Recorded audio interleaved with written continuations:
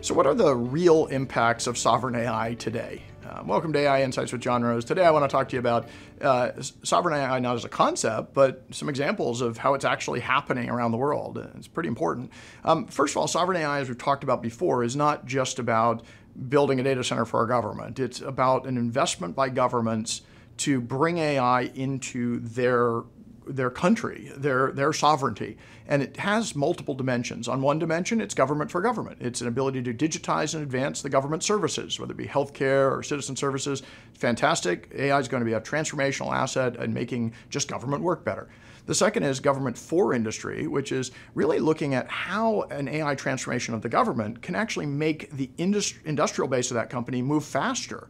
Uh, permitting, the ability to get access to information that is more accessible, that makes information uh, flow into industry and make it move faster. Things like geospatial information, healthcare information, all of these things are going to be transformed. And then the final one is government with industry, which is this idea that government becomes the enabler for the industrial base, that it's the responsibility not just of the companies within a country, but the government with those companies to actually make sure that the entire country, inclusive of its industrial base, is actually moving faster, is being an adopter of AI in the front end of the cycle. So all of these are, and we've talked about it before, are part of this concept called sovereign AI, which is the application of AI to a country, to a government, to an, a, a citizenry.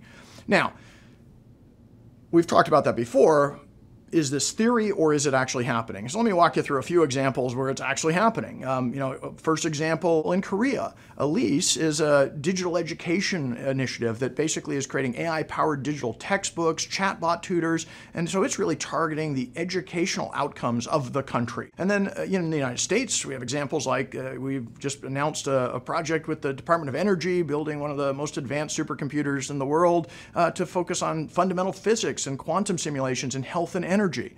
And then in France, there's a, a fantastic uh, exercise going on, a company called FluidStack that's working on the sovereign strategies within in that country.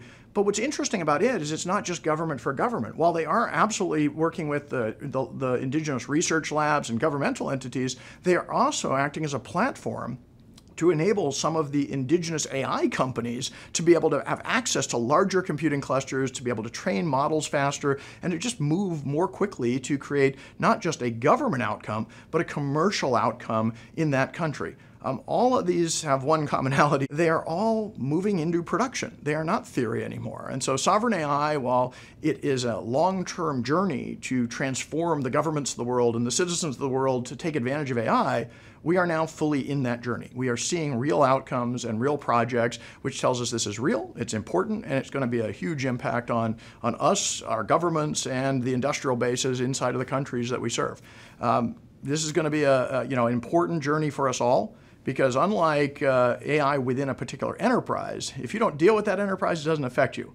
But sovereign AI says if you are a citizen of a country and your country does a good job on sovereign AI, it will absolutely improve everything from the government services that you consume to the success of your industrial base that probably employs you and creates the economic output of your country.